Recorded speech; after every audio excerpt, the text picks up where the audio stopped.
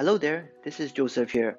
I'm a year 13 learner, and this will be my second year with Nexus International School as well as the Nexus boarding house. I've recently joined the IMU Science Discovery Challenge. It's a science competition hosted by International Medical University Malaysia.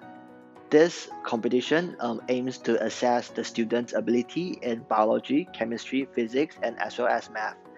And this competition is divided into two rounds, where in the preliminary round, student has one hour to answer 50 questions, um, a scientific quiz.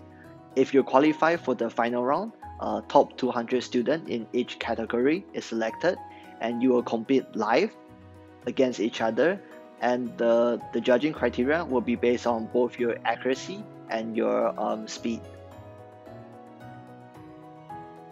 The recent achievement I've made is that I was honored to be selected as one of the finalists to participate in the final live round competition.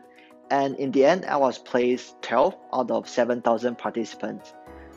Besides that, I was also awarded the best biology student in my own category.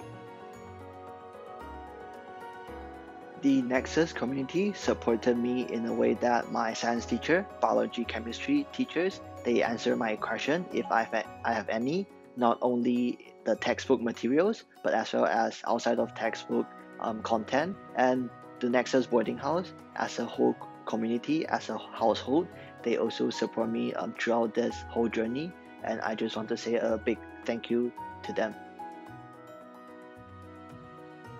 I would say the most memorable and challenge experience I've faced throughout the whole competition is that this year everything is done online through the Kahoot app due to the pandemic situation.